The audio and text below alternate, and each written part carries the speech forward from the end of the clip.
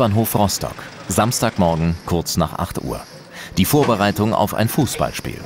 Heute findet die Zweitligapartie FC Hansa Rostock gegen den FC St. Pauli statt. An vorderster Front der 38-jährige André. Er ist seit 18 Jahren bei der Polizei. Fast 1000 Fußballspieler hat André schon begleitet.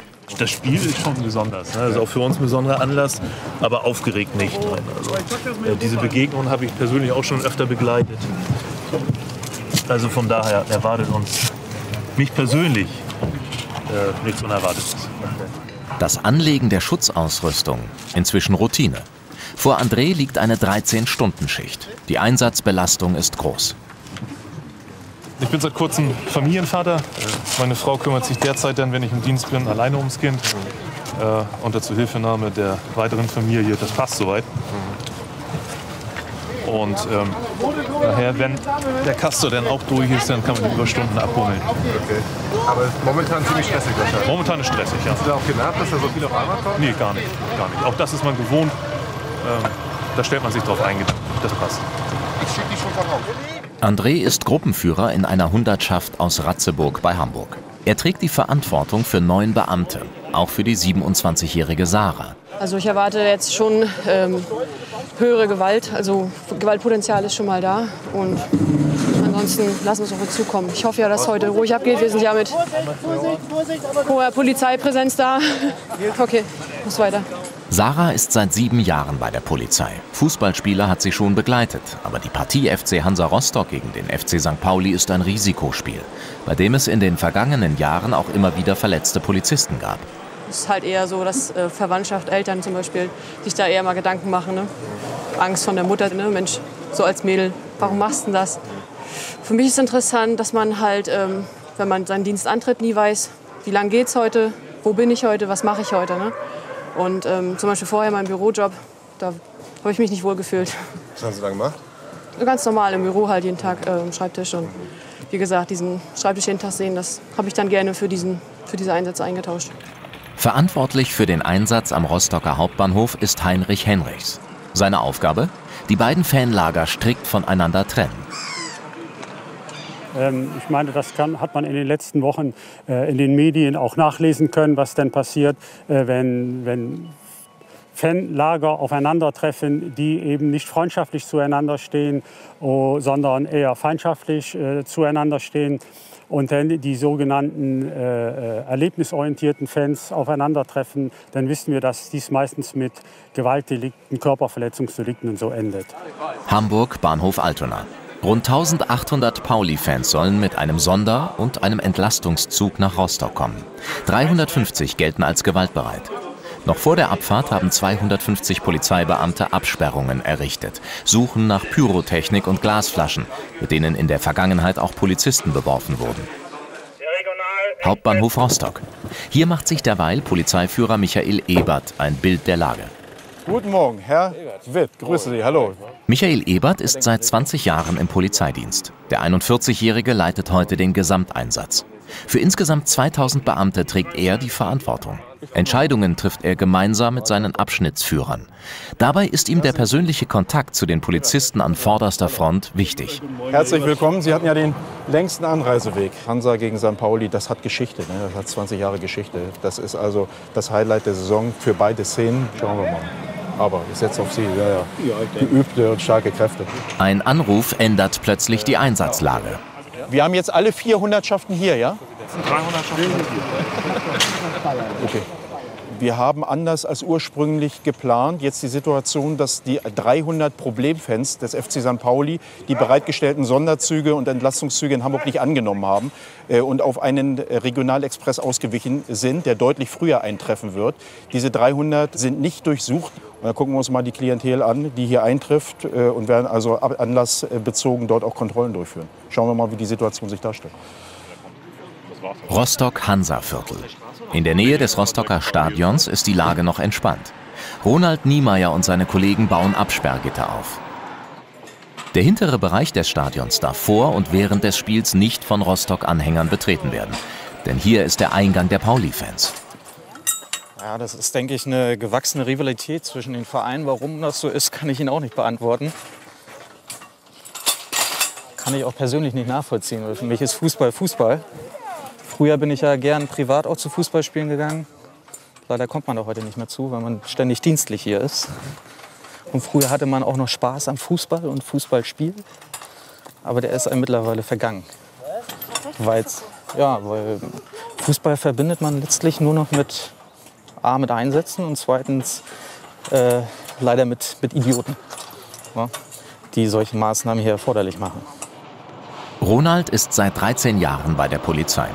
In den letzten Wochen wurde er bei Fußballspielen und einer großen Techno-Party in Schwerin eingesetzt. Unter der Woche im Streifendienst. Vor allem der permanente Wochenenddienst nervt den 31-jährigen Vater zweier Töchter. Ist, letztlich ist es Job. Spaß macht es mir nicht, ganz ehrlich. Ne? Aber dafür werde ich bezahlt. Genauso wie alle anderen hier. Ne?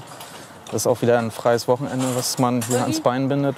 Normal hätte man frei, könnte die Zeit mit der Familie verbringen. Aber leider müssen die wieder allein zu Hause bleiben und ich mache dann sowas hier. Rostock Hauptbahnhof. Hansa-Fans treffen mit der S-Bahn ein. Die Stimmung ist jetzt schon aufgeheizt.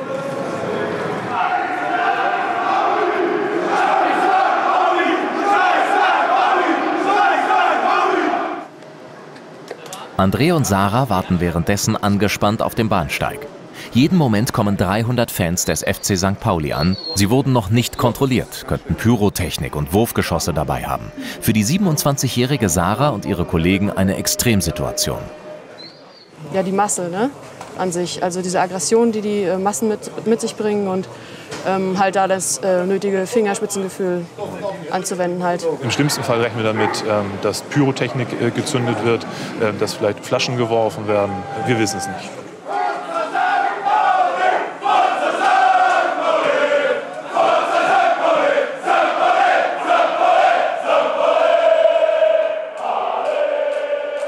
Polizisten auf dem Bahnsteig ziehen die ersten verdächtigen Pauli-Fans aus der Menge. Eine Gratwanderung. Was der Sicherheit dienen soll, könnte die Fans provozieren. Der Bahnhofsvorplatz ist inzwischen geräumt. Auch hier sind die Fangesänge der aufgeputschten Pauli-Fans zu hören. Im Durchgangstunnel geraten normale Bahnreisende zwischen die Fronten, darunter auch ältere Menschen und Kinder.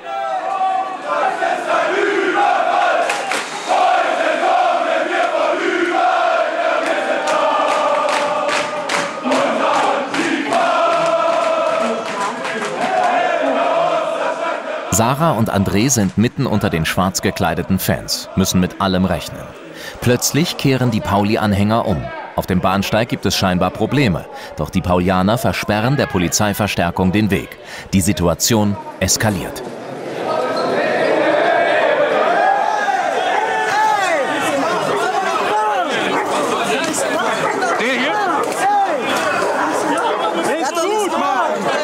Egal, alles gut. Lassen Sie mich los! Ey! Was soll denn das? Guck mal, ein bisschen Platz. Ein bisschen Platz. Pfeifen Sie mir Ihre Kollegen zurück! Ich hab Platzangst. Lassen Sie mich hier raus. Vorne hin. Lassen Sie mich hier raus. Ganz ruhig. Der hier? Mach doch, ich soll mal. Hab, habt ihr ihn? Habt ihr ihn? Achtung, da kam eine gerade. Kommen die jetzt nicht runter, die St. Pauli? Weil die St. Pauli-Fans sich mit denjenigen, die haben wohl oben auf dem Bahnsteig Gewahrsamnahmen getätigt, die Kollegen solidarisieren äh, und momentan den Abfluss Richtung Stadtgebiet verweigern. Erst als die Beamten die Kontrollen der Pauli-Anhänger beenden, bewegen sich die Fans wieder Richtung Ausgang.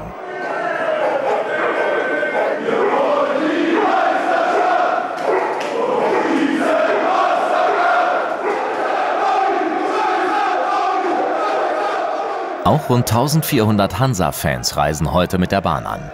Die Rostocker stehen auf der anderen Seite einer Pufferzone, die die Polizei eingerichtet hat. Nur einen Steinwurf von den ankommenden Pauli-Anhängern entfernt.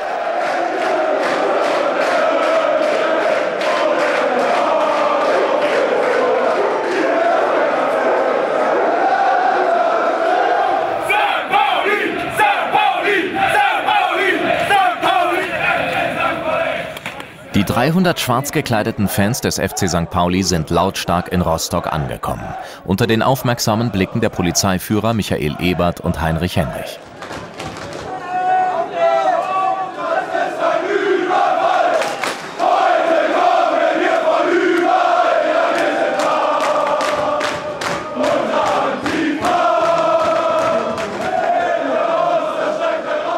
Eigentlich sollen die Pauli-Fans in Shuttlebussen zum Stadion transportiert werden. Ob die Anhänger des Vereins in die Busse einsteigen, ist aber noch völlig unklar. Die Polizei befürchtet einen Fanmarsch quer durch die Stadt. Einsatzleiter Michael Ebert sitzt bereits im Auto und fährt die Strecke ab, die die Polizei für den Marsch vorgesehen hat. Es gab sehr viel Ärger mit den Anwohnern hier dieser Straße. Wir haben im Vorfeld hier Flyer verteilt, wir haben Anwohnerversammlungen gemacht, weil wir diese Straße brauchen, um im, im Falle eines Fußmarsches mit den St. Paulianern den kürzesten Weg zu wählen. Da gab es massive Beschwerden, übelste Beschimpfungen. Äh, aber ich bin begeistert, die Straße ist frei. Am Bahnhof entspannt sich die Lage etwas. Die Fans des FC St. Pauli steigen in die bereitgestellten Shuttlebusse.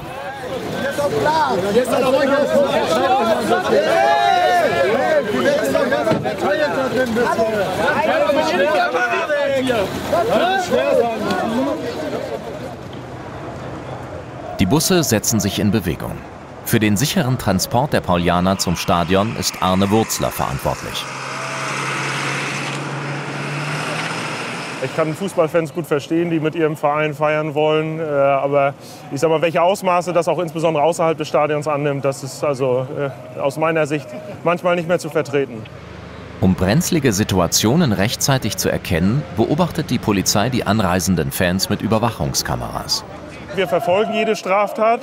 Allerdings muss man immer, ich sag mal, und das ist die Prämisse, die wir immer eingehen, welches Risiko geht man in so einem taktischen Einsatz ein, wenn ich mich jetzt also um jede Straftat gleich sofort kümmere. Natürlich verfolgen wir jede Straftat, aber manchmal eben nicht sofort, da wir unseren Einsatzablauf nicht gefährden wollen.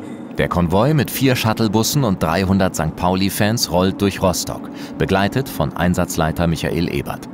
Die Strecke ist für den normalen Verkehr gesperrt, um die Rostock-Fans von den Pauli-Anhängern fernzuhalten. Die Scheiben der Shuttlebusse wurden von den Paulianern selbst mit Klebeband abgeklebt, damit diese bei Steinattacken nicht zersplittern. Die Pauli-Fans kommen auf der Rückseite des Hansa-Stadions an. Der Eingang für Gästefans liegt aus Sicherheitsgründen 100 Meter entfernt vom Eingang der Rostocker. Bei denen herrscht gute Stimmung. Das Spiel ist ausverkauft. Rund 22.000 Anhänger des FC Hansa werden erwartet. Friedliche Hansa-Fans, entspannte Gesichter bei Ronald Niemeyer und seinen Kollegen. Der 31-Jährige ist heute an Absperrungen vor dem Stadion eingeteilt. Diese sollen verhindern, dass die Heimfans in den Bereich gelangen, in dem gerade eben die Pauli-Busse ankommen. Also ich würde fast meine Hand dafür ins Feuer legen, dass äh, wenn wir diese, diese Trennung hier nicht so strikt durchführen würden, äh, wenn also Pauli-Fans und Hansa-Fans aufeinandertreffen würden, dass es hier mit Sicherheit zu äh, gewalttätigen Auseinandersetzungen kommen würde. Insofern ist dieses Konzept, was hier gefahren wird, aus meiner Sicht äh, richtig und gut. Äh, am Anfang gab es nochmal Auseinandersetzungen im Eingangsbereich für die Gästefans. Dort waren die baulichen Gegebenheiten noch nicht so gut, wie sie es jetzt sind, so dass es dort äh, doch zu äh, Steinwürfen äh, und Flaschenwürfen von Hansa-Fans auf äh, Pauli-Fans kam und auch andersrum und wir letztlich dazwischen standen und letztlich das dann alles abbekommen haben. Zurück am Bahnhof. Hier herrscht mittlerweile große Hektik. Nach den 300 ersten Fans kommt jetzt ein Sonderzug mit weiteren 700 Pauli-Anhängern an. André bringt die Beamten seiner Gruppe in Position. Zweite Halbgruppe im hinteren Bereich. Wir bleiben bei der aggressiven Einsatzsituation. Ja. Wenn wir irgendwas haben, solidarisch und dann raus. Ja. ja? Okay. Zweite Halbgruppe. Ja, in Linie, ne? Der Zug kommt an. 700 gröhlende Fans strömen Richtung Durchgangstunnel, werden dort von Sarah und André erwartet.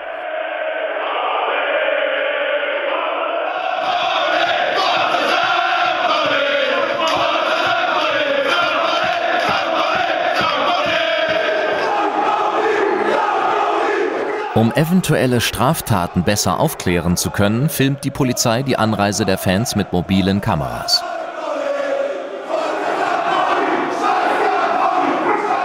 Auch immer mehr Rostocker versammeln sich in der Unterführung, provozieren die Pauli-Fans.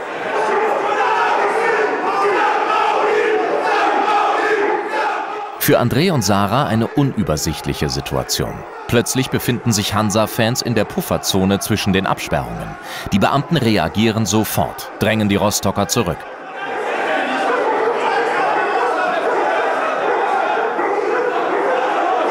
Auch in solch heiklen Situationen behält Gruppenführer André die Ruhe. Mittlerweile kann man, kann man kein, keine Abstufung mehr erkennen. Also auch im Einsatz bin ich, bin ich entspannt. Und erst wenn wirklich eine konkrete Einsatzsituation kommt, dann äh, geht der Puls nach oben. Aber, aber man lernt mit der Zeit umzugehen, damit umzugehen und muss jetzt nicht aktiv ähm, diesen Stresspegel senken. Also so nicht. Das direkte Aufeinandertreffen der Fangruppen konnte verhindert werden. Polizeiführer Heinrich Henrich ist mit dem bisherigen Ablauf zufrieden. Wenn ein Einsatz relativ glatt gelaufen ist, ist es auch schnell abgehakt. Wenn es Probleme gegeben hat oder nicht vorhersehbare Ereignisse und reagiert werden musste, äh, dann hinterfragt man sich selber nochmal, ob man es richtig gemacht hat, ob man es besser machen müssen oder welche äh, Erfahrungen man für die nächste Einsatzplanung aus, daraus äh, zieht. Die Fans des FC St. Pauli stehen auf dem Bahnhofsvorplatz. Ein dritter Zug mit weiteren 800 Fans rollt jeden Moment ein. Doch es gibt Probleme. Shuttlebusse fehlen. Äh, klärt mit Robbe, dass wir die Busse hier brauchen, weil der RSAG nur, äh, ich sag mal, zehn Busse hat. Das ist das Letzte, was wir da haben. Die zwei Stück. Die zwei. Der nächste Zug kommt jetzt. Die nächsten 800 kommen. Die Stimmung am Hauptbahnhof kann jeden Moment kippen. Denn die aufgeputschten Fans wollen zum Stadion. Einsatzkräfte werden verlegt. Jetzt muss es schnell gehen. Am Stadion durchbrechen zur selben Zeit die Fans aus dem ersten Zug die Kontrolllinie des Hansa-Ordnungsdienstes. Die Polizeibeamten sind machtlos. So schaffen es die Fans heute zum zweiten Mal, den Kontrollen nach Pyrotechnik und Wurfgeschossen zu entgehen.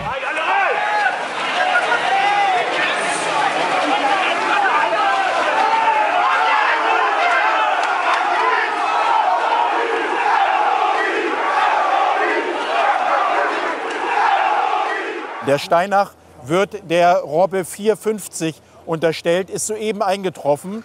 Die Lage droht außer Kontrolle zu geraten. Einsatzleiter Michael Ebert reagiert umgehend und beordert eine weitere Hundertschaft zur Verstärkung ans Stadion. Ja, ich will mir das selbst mal angucken. Wir haben da vorne wohl einen Durchbruch gehabt. Äh, da ist ein Zaun aufgebrochen worden. Da sind 60 bis 100 St. Paulianer unkontrolliert rein. Wir haben also die Busse aus dem Vorplatzbereich nicht rausbekommen, weil sie immer noch von St. Paulianern umlagert äh, waren. Jetzt müssen wir die Busse geordnet rauskriegen, damit wir sie zum Bahnhof wiederbringen können, damit die nächsten einsteigen können und sie hierher kommen. Wo ist der, wo ist der Führer hier?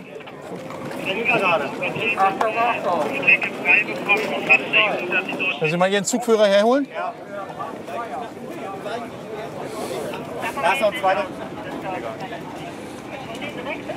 Ebert, hallo, ich bin der Polizeiführer. Sie müssen mal sehen, dass wir Sie jetzt alle reingeschoben kriegen.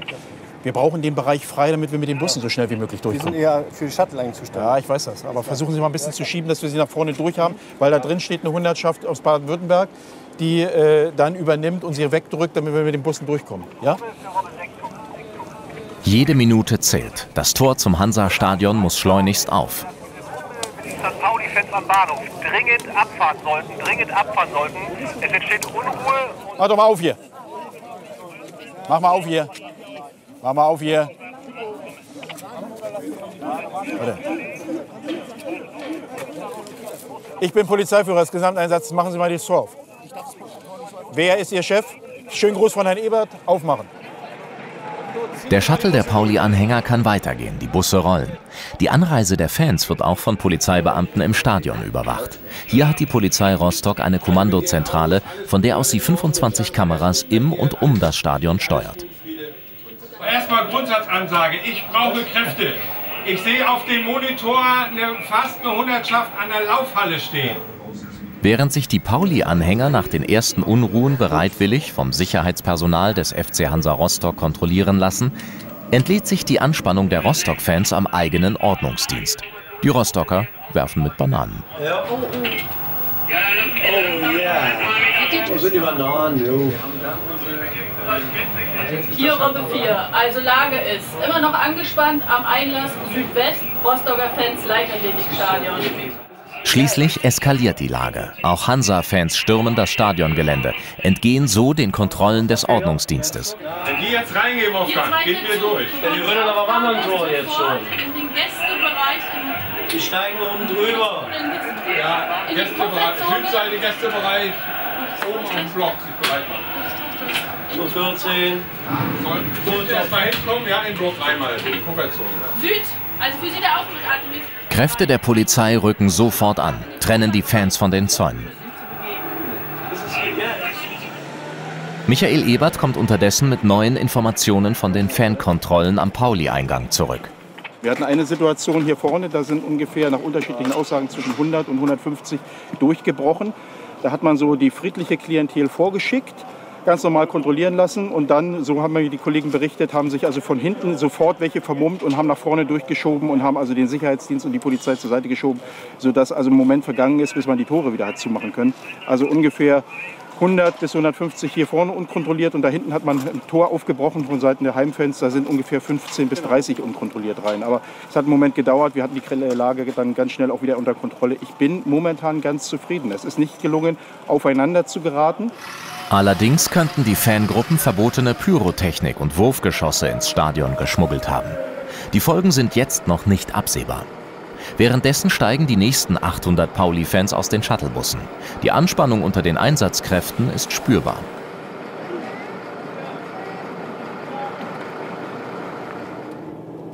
Michael Ebert ist bereits wieder im Auto unterwegs und macht sich ein Bild von den anreisenden Hansa-Fans. Nur noch eine Stunde bis Spielbeginn. Das Verbrennen gegnerischer Fanschals ist ein beliebtes Ritual. Auch das Zünden von Feuerwerkskörpern gehört dazu. Die Stimmung unter den Rostockern ist aufgeheizt. Überall werden die Polizeibeamten angefeindet. Wieso schon die ganze Zeit? Ich fotografiere dich oder was? Also. So, jetzt könnt ihr wieder weggehen. Was will denn du ganz Eier, Alter? Arsch, Alter. 100 Meter weiter beobachtet Michael Ebert Kontrollen bei verdächtigen Hansa-Fans. Um eine Eskalation zu vermeiden, gibt sich der Polizeiführer diplomatisch. So, meine Herren, wenn es ins Stadion gehen soll, dann bitte jetzt. Er hat gesagt, wir sollen warten kurz. Nee, sonst müsste ich jetzt. Moment. Also, sonst müsste ich jetzt Kräfte herholen. Die stehen da vorne um die Ecke. So, los, Ey, komm. wir, wir warten noch kurz. Männer, Männer, kommt. Macht keinen Ärger. Ihr wollt ins Stadion, sonst geht's nämlich Ja. ins Stadion. Ich bin heute Chef, der es sagen hat. Wir wollen noch mit unseren Kumpels mitgehen. Da geht's lang. Die Kumpels kommen gleich sind, hinterher. sind goldene Sterne drauf. Ja? Um die Ecke, da könnt ihr stehen, könnt ins Stadion, alles ist gut. Die kommen gleich hinterher. Wir stellen uns hier vorne am Pfosten. Komm, die kommen gleich hinterher. Männer, ich habe was gesagt, ne? Hab was gesagt. Ey, Bruder. Komm. Ich warte auf meinen Bruder. Äh, wir können auch im Zentralgewahrsam warten. Also, da lang, jetzt. Abmarsch. Okay, er, er hat Gold drauf. Er hat ein bisschen was zu sagen. Abmarsch, Männer. Komm. Wir haben also eine Entwicklung äh, in der Fanszene, die 17 Jahre sich gestaltet hat, ohne sozialpädagogische Betreuung, ohne, äh, ja, ohne Betreuung des Vereins. Hier hat sich eine Problemfanszene in Rostock entwickelt, die im Grunde Verein, Aufsichtsrat, äh, Vorstand nicht braucht, um eigenen Fußball zu leben. Und das leben sie in einer Form aus, die mit unserem Fußballverständnis natürlich wenig zu tun hat. Durchschnaufen für die Polizeibeamten am Rostocker Hauptbahnhof. Mittagspause. Mahlzeit. Mahlzeit. Du lächel doch mal. Ich lächle doch immer. Alle Pauli-Fans sind inzwischen im Stadion. Auch Sarah und André nutzen die Möglichkeit, sich zu stärken. Ich lasse dich auch Geld vor. Die Anspannung fällt für einen Moment ab. Niemand weiß, wie die Stimmung der Fans nach dem Spiel sein wird. In den vergangenen Jahren endeten die Partien von St. Pauli gegen Hansa Rostock oft in Straßenschlachten mit der Polizei. Ja, schmeckt köstlich. Von uns werden die Fußballfans äh, regelmäßig durch äh, polizeiliche Maßnahmen belegt. Und das schafft natürlich äh, Konflikte. Äh, und und äh, wenn Konflikte bestehen, dann, dann sieht man den Menschen in der Uniform nicht mehr als Menschen, sondern dann eben als Hoheitsträger und als Repräsentant des Staates. Ne? Auch bei Einsatzleiter Ebert ist kurz Zeit für einen Kaffee zwischendurch. Der 41-Jährige ist Polizist aus Leidenschaft, steht bei so einem Großeinsatz ständig unter Strom. So, jetzt. Man äh, ist im Grunde gedanklich immer schon ein Schritt weiter. Ich bin also jetzt nicht in der Phase, die gerade abläuft, sondern in, der Phase, was kommt als nächstes. Also in Szenarien denkend, um die Kräfte im Grunde so zu gruppieren, äh, wie sie als nächstes vonnöten sind.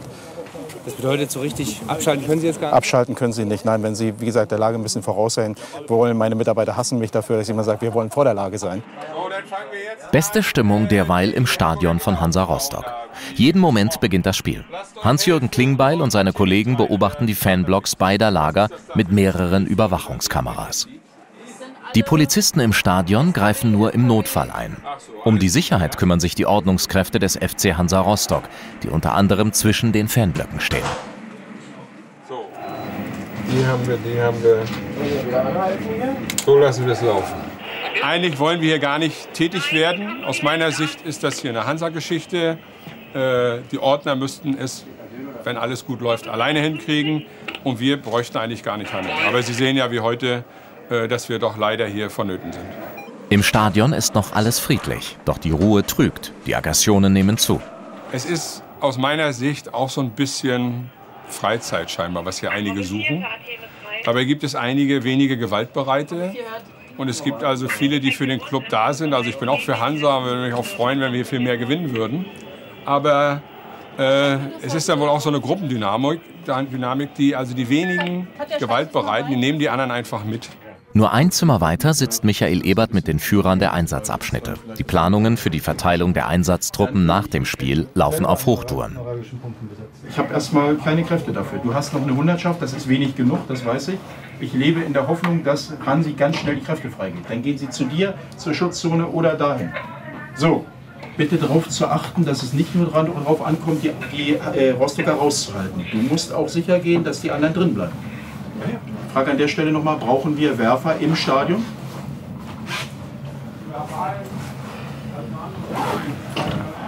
Inzwischen geht der FC St. Pauli mit 1 zu 0 in Führung. Die Fans des FC Hansa Rostock schießen Raketen in den Block der Pauli-Fans.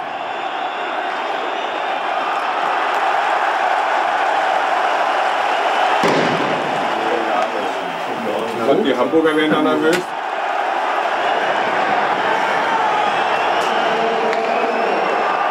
Der Schiedsrichter unterbricht das Spiel. Ein kompletter Abbruch droht. Michael Ebert muss sofort reagieren, sich auf die neue Lage einstellen. Ich bitte in dem Zusammenhang Lothar schon mal zu klären, dass die RSAG-Busse vorgezogen werden. Dass wir jetzt schon mal das Signal geben, äh, die RSAG-Busse mögen bitte jetzt schon Richtung Stadion verlegen für den Fall, dass das Spiel abgebrochen wird. Während im Stadion noch über die Folgen eines Spielabbruchs diskutiert wird, hat Ronald am Rand der Schutzzone Pause. Also zumindest jetzt mal die Zeit nutzen, mal was essen. Weil außer Frühstück gab es heute noch nichts. Äh, bei derartigen Einsätzen haben wir den Luxus, dass wir verpflegt werden. Es ist immer wieder eine Überraschung, in diese weißen Tüten zu gucken, weil man weiß vorher nicht, was man kriegt. Ich habe selber noch nicht reingeguckt. Ein Haufen geschmierte Brötchen hier wahrscheinlich. Getränke, Joghurt, so. wahrscheinlich Käse, Wurst, keine Ahnung. Sogar mit Salatblatt. Das ist nicht immer da drauf. Das sieht ganz gut aus heute mal, ja. Ja, also Verpflegung mit Steht und Fällt so ein Einsatz natürlich auch. Hunger ist so ein bisschen doof. Dann gibt es noch einen Schnitzel, ja? Naja, aber irgendwann kann man die auch nicht mehr sehen. Also ich esse da immer ein, zwei Brötchen von. Und der Rest, der landet dann irgendwann zu Hause. Das Erste, was meine Tochter dann immer sagt, Papa, hast du mir was mitgebracht? Und dann muss ich immer die Tüte da zeigen. und die freut sich immer, ja. Ronald wollte eigentlich Medizin studieren, hat sich dann aber spontan für die Polizeilaufbahn entschieden. Wie gefährlich dieser Beruf sein kann, hat er schon am eigenen Leib erfahren. Die meisten Verletzungen passieren tatsächlich so im täglichen Dienst. Ne? Wenn man ungeschützt quasi nur mit einer Schussweste etc. Äh, losfährt, dann passieren Verletzungen wie man kriegt man einen Faustschlag ab oder Wo kommt denn dieser Hass her gegen die Beamten? Wo kommt das her? Was ist das? ich, ich, ich kann es Ihnen nicht sagen, woher der Hass kommt. Das ist immer so, wir werden gerufen, so im normalen Einsatz. Äh, und auf einmal haben die, die uns vorher gerufen haben, ein neues Feindbild. Das sind die Polizei. Wir müssen Maßnahmen treffen und äh, letztlich auch durchführen. Und dann sind wir das Feindbild und kriegen sämtliche Aggressionen ab. Ich weiß nicht, ob wir denn das Ventil der Gesellschaft sind. Ich kann es äh, nicht nachvollziehen. Im Stadion läuft inzwischen die zweite Halbzeit. Hansa gelingt der Ausgleich zum 1 zu 1. Das sorgt für Entspannung. Das ist gut. Ja, so schießen. Naja, jetzt knallt's. Das ist für alles gut. Ein ausgeglichener Spielstand verringert die Gefahr von Ausschreitungen nach der Partie. Doch die Beamten in der Befehlsstelle bleiben aufmerksam, denn die Provokationen gehen weiter. Einige Hansa-Fans stehen vor dem Pauli-Block, wollen eine wertvolle Fahne der Kontrahenten verbrennen. Jetzt wird's angezündet hier. Ja. Dann weißt du auch nicht, dass vom oben, damit du nicht siehst, wer es Wollen war. wir es wegnehmen dann? Ja, wollt ihr es rausholen? Ja, Ja, jetzt haben wir haben es jetzt zerrissen, die Aktion ist beendet. Gegen Ende der zweiten Halbzeit kippt die Stimmung erneut. Offene Anfeindungen unter den Fangruppen. Na, du geht dann los mit Pyro. Äh, eben eine Rakete von Süd in Richtung Gästefans. Gästefans zwei Nebelgranaten, die sind aber schon ausgegangen. Farbige. Ja, man merkt also einmal, sie fangen sich an zu vermummen. Äh, sie sprechen sich ab. Es, man sieht es auch in den Gesichtern, wer sie nun kennt. Ähm, sie kriegen einen aggressiven Gesichtsausdruck. Äh, wir spüren es also auch, dass sie dann in Richtung Gäste-Fanblock drücken, dahin wollen, äh, uns gegenüber und den Ordnern gegenüber sich also aggressiv artikulieren und teilweise leider auch angreifen. So ist es nun mal. Am Hauptbahnhof haben Sarah und André noch eine halbe Stunde, bis die ersten Pauli-Fans die Rückreise antreten. Trotz der Gefahren und der hohen Belastung, für André ist der Beruf des Polizeibeamten ein Traumjob. Also ich kann mir nichts Besseres vorstellen. Also ich persönlich mag es sehr gerne, äh, mich auf neue Einsatzanlässe einzustellen. Ähm, mir wäre es eben ein Graus, äh, von Montag bis Freitag äh, immer derselben Tätigkeit nachzugehen. Ähm, und und äh, immer unterschiedliche Einsatzanlässe, das ist genau das, was mir gefällt, äh, was die Abwechslung angeht. Was denkt Ihre Frau, wenn wir das abends so erzählen, was Sie alles da mitmachen? Ähm, also sie äh, sagt mir dann immer, wenn ich mich verabschiede, komm heil nach Hause. Da versuche ich natürlich das Bestmögliche. Bis jetzt hat das immer geklappt. Plötzlich kommt der Befehl zum Ausrücken. Und jetzt geht's gleich weiter, ja? Ja, sieht so aus. Ich, Wissen Sie schon, was los ist? nee, es hieß nur, wir müssen raus und dann gehen wir raus. Und dann immer auf gesprungen irgendwie, ne? Ja. Vergeht der Tag schnell. Die Hundertschaft von André und Sarah wurde für den Einsatz in Rostock neu zusammengewürfelt. Die wenigsten kennen sich persönlich. Ich kenne dich gar nicht. Bist du jetzt äh, Anwärter im Praktikum oder neu? Achso, okay. Ja, ich bin aus einem anderen Zug jetzt hier reingeschubst worden. Dennis. Gut, ich bin Sarah. Alles klar. Ich ziehe dann immer so unterm Ärmel. Mit soll's. Aber er hat schon recht, also heute lieber keine Einzelaktion, ne? Immer schön zusammenbleiben. Am Stadion machen sich die Einsatzkräfte bereit. St. Pauli hat 3 zu 1 gewonnen. Es wird befürchtet, dass die frustrierten Rostocker die Shuttlebusse der Pauli-Fans angreifen. Die ersten beiden Shuttlebusse verlassen jetzt den Käfig. 22.000 enttäuschte Hansa-Fans treten den Heimweg an. Die sogenannten Rostocker Problemfans versammeln sich unter ihnen.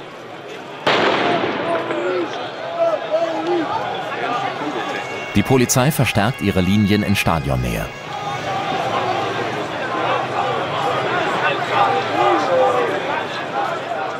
Einsatzleiter Michael Ebert ist inzwischen in der Hauptbefehlsstelle angekommen.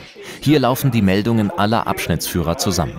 Für Michael Ebert ist das Spielende die heikelste Phase des Tages. Sind jetzt alle Kräfte, so wie in der Halbzeitbesprechung besprochen, positioniert? Michael Ebert ist hier quasi blind. Er ist auf detaillierte Funksprüche aus den Einsatzabschnitten angewiesen, um die richtigen Entscheidungen zu treffen. Dann will ich wissen vom EA1, wo ist die Problemklientel? Wo ist unsere Problemklientel? Ich bin da momentan ein bisschen unruhig, weil es ist mir eigentlich zu ruhig und ich weiß momentan nicht, wo unsere Problemfanszene geblieben ist. Wir fahren an einem großen Wald vorbei. Wir wissen, dass dieser Wald regelmäßig genutzt wird, um aus der Deckung äh, heraus zu versuchen, die Busse anzugreifen. Wir werden wahrscheinlich in Kürze die Shuttle-Route ändern und über eine andere Shuttle-Route äh, die St. Paulianer verbringen. So, zur Situation auf dem Stadion Vorplatz, Kopernikusstraße. Wir haben eine Polizeikette.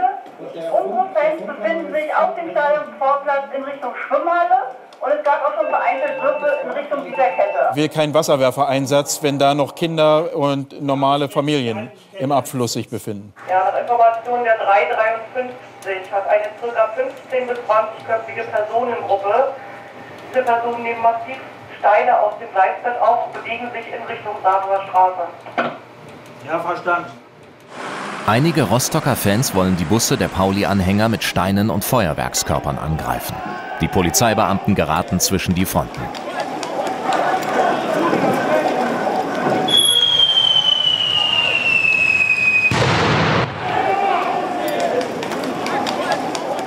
Da brauchen wir einen weiteren RTW am Wohlweinplatz. Eine verletzter Beamter Stein ins Gesicht. Es ist, keine, es ist keine befriedigende Situation. Wir haben jetzt überall Kleingruppen im Bereich, die zum Teil Steine aufgenommen haben, Flaschen aufgenommen haben sich den Ersatzfeind Polizei gesucht haben, um äh, im Grunde äh, da ihre Abenteuerlust noch mal zu befriedigen. An die St. Paulianer sind sie bis jetzt nicht rangekommen. Wir sind bis dato wirklich getrennt, deutlich getrennt voneinander, ähm, haben wir die Fans bewegt in dieser Stadt. Und in der Tat ist es, äh, macht es keinen Spaß, wenn man sieht, dass man eigentlich für das Positive in dieser Gesellschaft steht, dass man den, äh, das friedliche Fußballspiel schützen will, Fußball Fußball sein lassen und dass man dann also tatsächlich zum Feind derer wird, die Fußball für ihre Zwecke missbrauchen.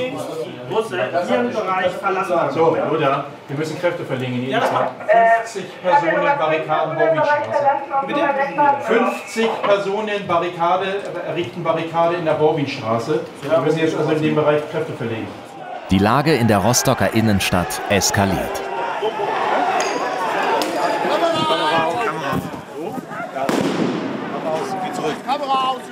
Die Polizisten jagen einen Gegner, der immer wieder seine Position ändert.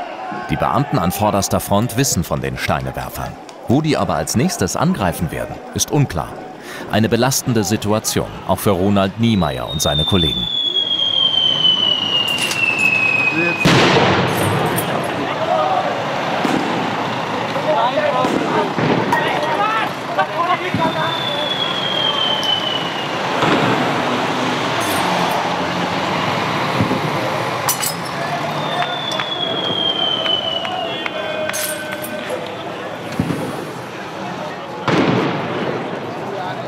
Wird jetzt ein bisschen kritischer. Jetzt wird es ein bisschen kritischer, weil wir Steinwürfe haben, Böllerschüsse, Flaschenwürfe.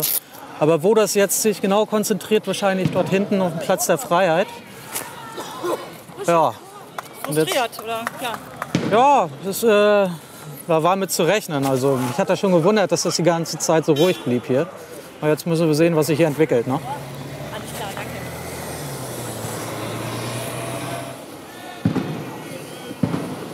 Massiver Steinwurf, Flaschenwurf und weiß ich was. Ja. Das ist alles hier Platz der Freiheit, hinten vor dem Stadion direkt. Also Augen auf und Visier runter. Ja, aber besser nichts sehen als ein Stein im Gesicht. Das ist jetzt schon komisch, weil man nicht weiß, äh, was ist da hinten. Kommt da eventuell jetzt doch auf äh, uns irgendwas zu oder... Aber es ist eine Situation, mit der muss man in diesem Moment einfach leben. Weil ändern können wir nichts dran. 3 zu 1! Währenddessen kommt ein Shuttlebus nach dem anderen am Hauptbahnhof an.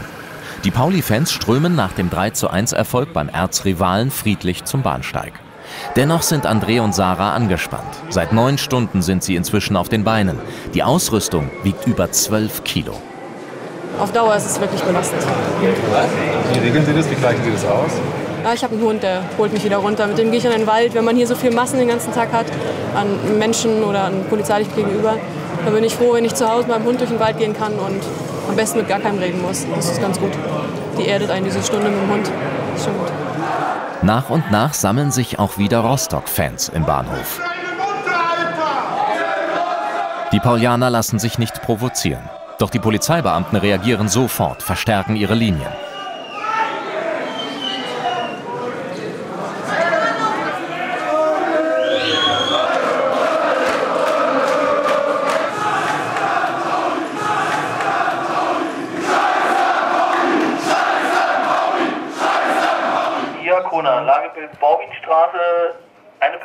60 bis 80 Personen durch Arkona 1 äh, festgesetzt. Tatvorwürfe können zurzeit nicht gemacht werden, erst nach Auswertung Videomaterial. EDF-Feststellung von uns äh, wird gemacht, anschließende Verwahrung oder nicht? Die haben Sie dort stationär unter Kontrolle? Richtig? Gut, erstmal Identitätsfeststellung, wir entscheiden das gleich. Einige Rostocker Steinewerfer wurden von der Polizei gestellt. Doch die Lage ist nach wie vor heikel. Lageinformation. Ein Hamburger Fan wurde verletzt bei dem Shuttle, beim Shuttlen als äh, Folge eines Steinwurfes, eines Steinwurfes auf einen Shuttlebus. Dieser Fan ist leicht verletzt und äh, begibt sich selbstständig in den Sandbereich des Bahnhofs. Wissen wir, ob die St. Paulianer alle schon in den Zügen sind? Haben Sie vor Ort Kräfte, die uns sagen können, wo sich alle Gästefans befinden, ob sie schon in den Zügen sitzen können? Bundespolizei, Moment, Bundespolizei teilt mit, dass also die bei St. Paulianer massiv auch von vermummten Hansa Rostock-Fans am Bahnhof bedrängt werden. Gleich vom Gleis 6 kommend. Die Polizisten am Hauptbahnhof reagieren sofort, sind in höchster Alarmbereitschaft. Etwa 200 Hansa-Fans haben sich versammelt, stehen auf dem Bahnsteig gegenüber dem vollbesetzten Pauli-Sonderzug. Die Fanlager provozieren sich gegenseitig. Einsteigen ein. Einsteigen.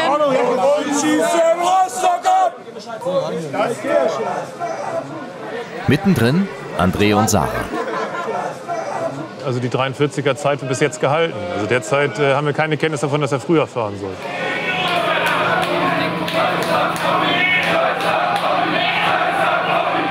Die Hansa-Fans wollen ihrem Frust Luft machen. Die Polizeibeamten müssen den Zug der Paulianer schützen und werden somit zum Ersatzfeind.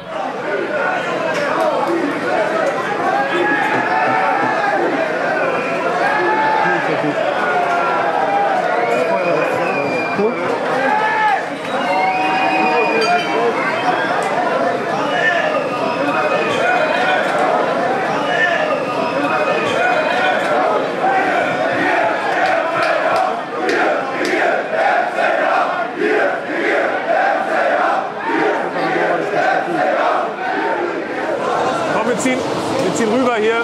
Kommst du da drüber? 360 Grad bitte. Feldi, wechselseitig. Jeder Zweite guckt nach da.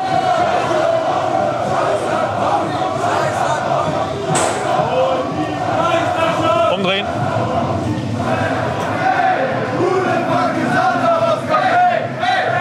Endlich verlässt der Pauli-Zug den Rostocker Hauptbahnhof. Damit endet der Spieltag für die Paulianer.